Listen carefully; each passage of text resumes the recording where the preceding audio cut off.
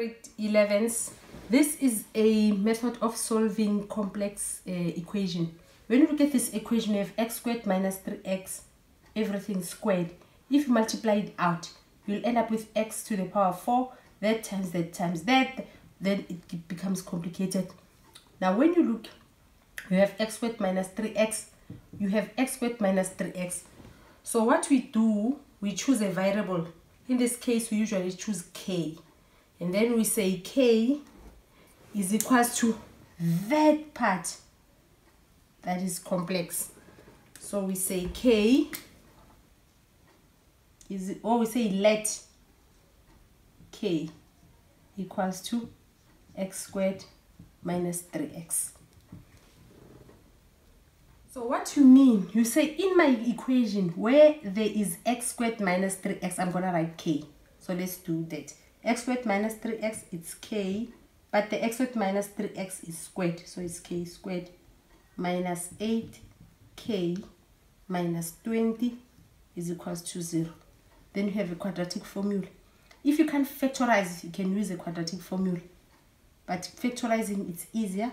So you're going to factorize it's equals to 0 we have k k factors of 20 it's 10 and plus 2 so our k is equals to 10 or our k is equals to minus 2 when you get to here you put back what k stands for.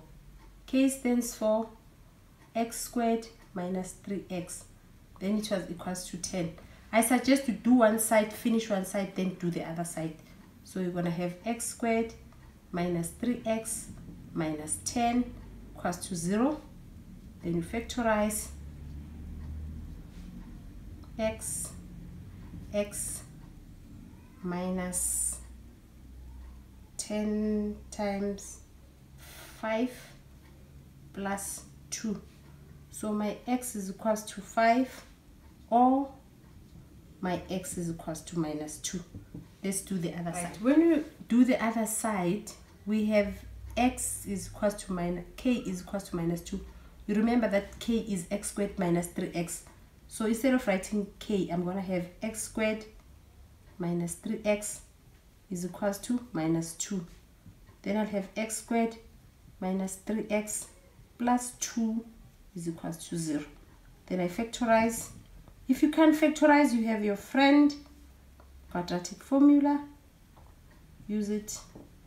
X is equals to 2 or x is equals to 1 this is how you use k method sometimes in the equation paper they'll give you exponent. Just look for the complicated part. Put an k there. Solve it. Put the the complicated part back.